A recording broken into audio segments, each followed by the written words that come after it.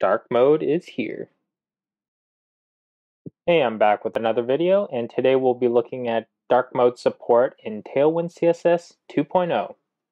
Now that we got dark mode support in Tailwind, let's check it out here. I got, I'm on the Tailwind website, tailwindcss.com. I scrolled down to their dark mode section.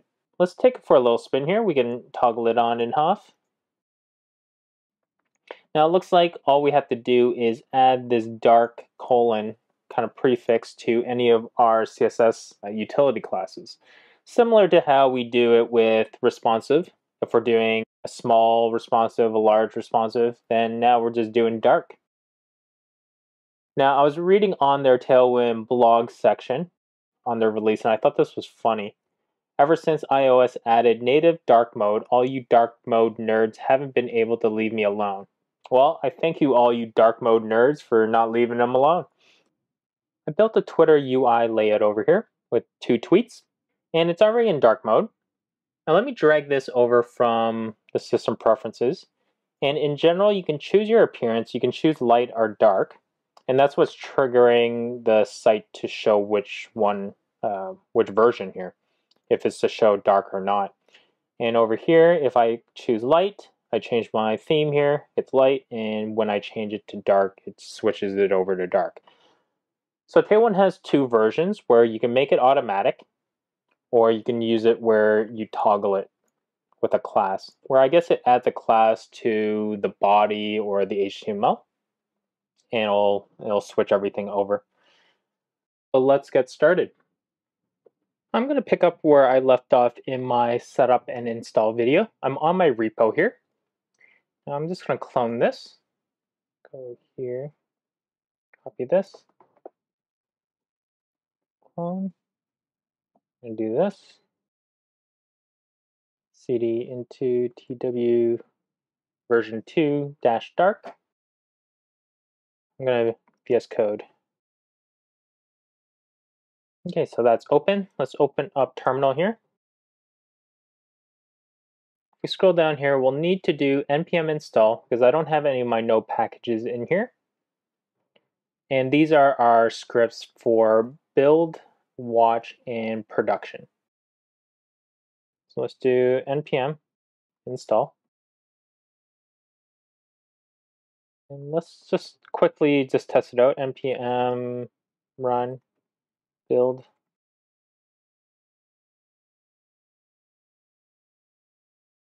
Okay, so it's built. Let's serve this up just so we can see where we left off from the last time. And this is what I had last when we finished the install for Tailwind CSS 2.0. Okay, let's go ahead and make some changes here. So I'm just going to clear this. Some stuff we can get rid of. We don't need this anymore. And let's open up our source CSS file. We don't need that anymore because I think we'll get an error since I'm deleting it from there. Let me do a npm watch. So we have our file watching.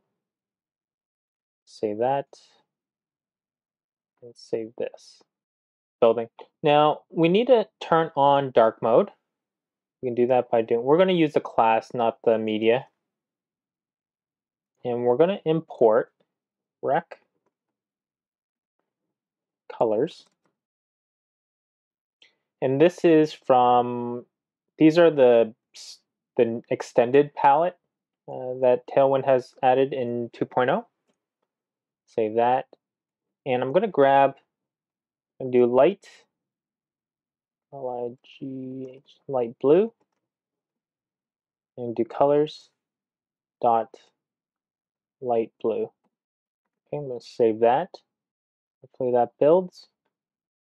Okay, so hopefully, I think that's how you uh, import the new colors. One more thing I'm going to add over here because we're going to have a JS file. Might as well purge CSS and look for the classes within our JS file as well. Let's go and create a couple folders. Folder JS, new folder image, and I'm going to go and drag over an image from this, this logo here. drag that over. So I'm going to have a logo here. And that built. Okay, we'll keep this open. I don't think we need this anymore unless we get an error. Now let's oh create a new file here. app.js. And let's do a couple of things. Let's import here script JS app. And I'm going to delete this and remove this. Call this wrapper. Save that there. We need a class here and we'll do an at apply. And actually, let me grab the old classes. I'm going to add them here. I'm just going to add a couple of BG gray 100 and text gray 900. Okay, save that. And here I'll just add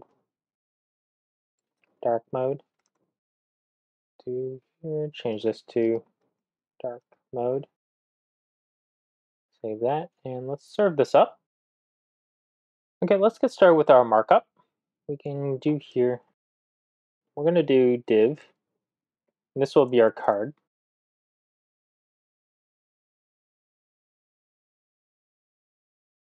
And in here, we're going to have an avatar.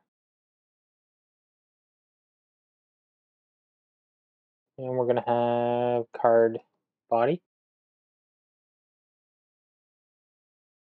And in here, we'll have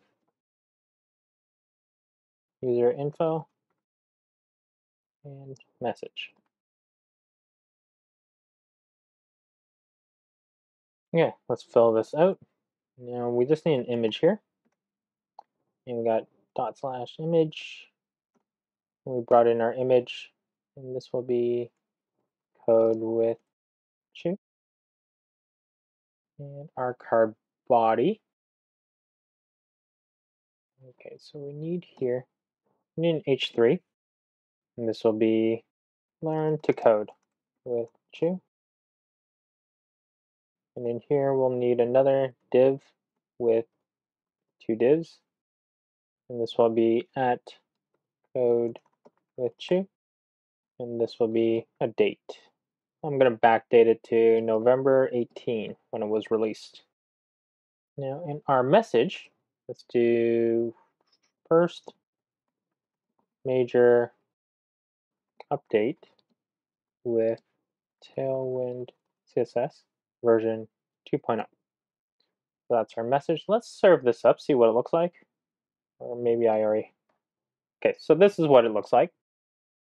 Okay, I think that's all we need for our markup. We'll add a little bit more if we need it, if there's like a alignment issue or anything like that.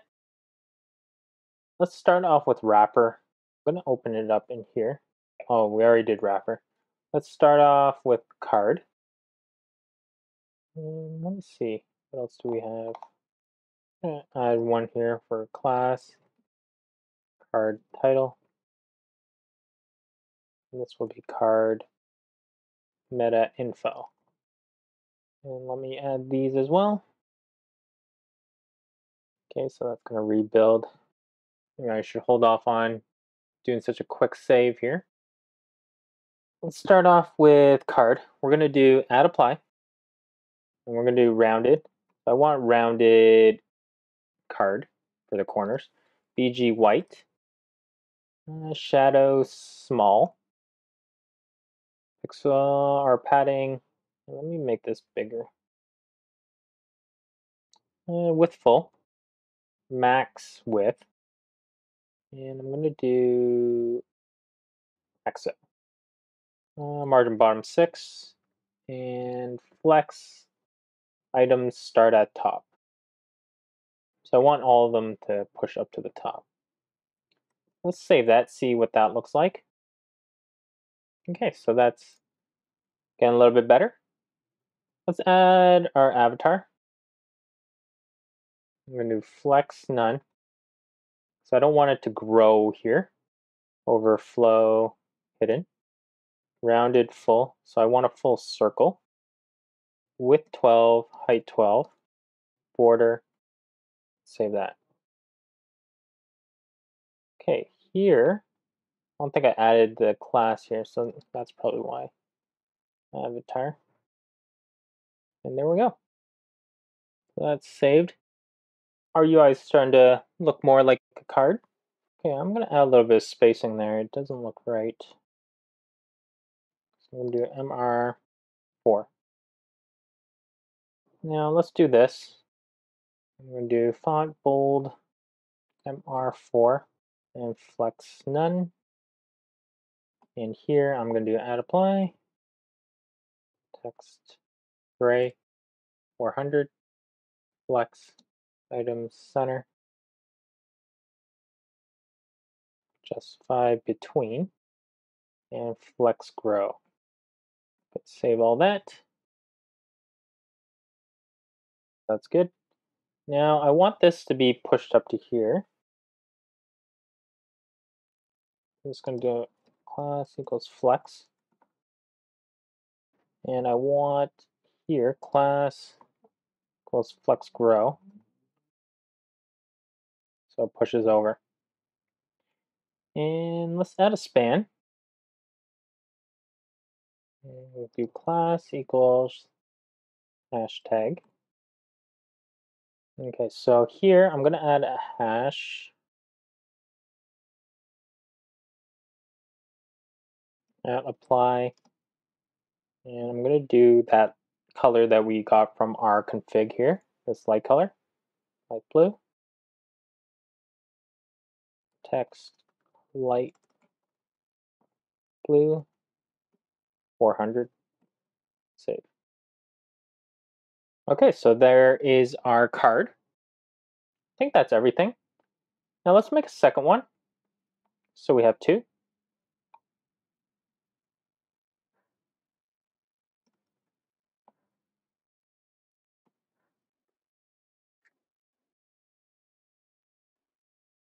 And this one we're going to do So this is going like that. Now, how do I fix that? I'm going to make the wrapper here. Flex column. First major update, Tailwind CSS version 2.0. Tailwind version 2.0 supports dark mode. We have two tweets now. I'm going to add our button to the top here.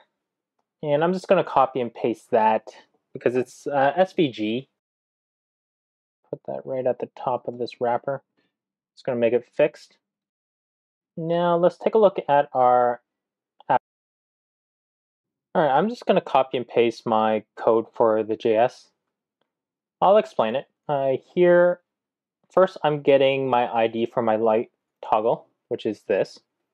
And there's two icons here that are two SVGs. So I'm loop, I'm grabbing them from here. So ls ls and I'm grabbing the SVGs within here and I have my body tag that's gonna that's gonna have my dark class. I have an event listener for this button here.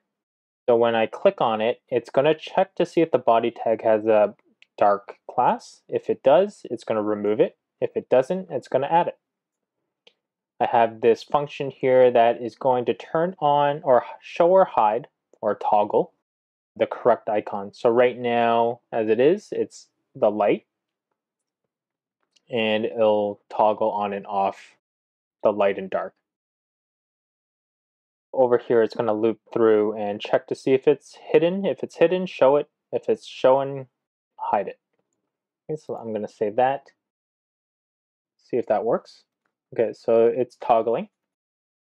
It's adding a dark class to this let's go and take, uh, let's go and add our dark classes, which is what this video is all about. Okay, first thing we need to do, change the background. To add dark classes, just type dark. I'm going to do BG gray, and I'm going to do 800. I'm going to change the dark, text, gray, 200. Mm, now for our card, I'm going to change this, dark, bg gray 900. And let's just save that and see what's going on. Oh, it doesn't like that. Didn't write dark correctly. Hopefully that's the only typo I had. I can go and toggle it. It's almost there. Now I'm going to put a background here and some of the colors here for the text. Here for the avatar, let's do dark, BG, gray, 200. I'm going to do dark, text, gray, 600. And here we go. And that's it for setting up dark mode. It's pretty, pretty easy. Let's build out the production. Make sure it all works. npm run production.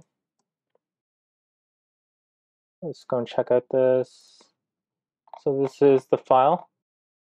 It's minified, purged, uh, everything into one line. And let's see if this still works.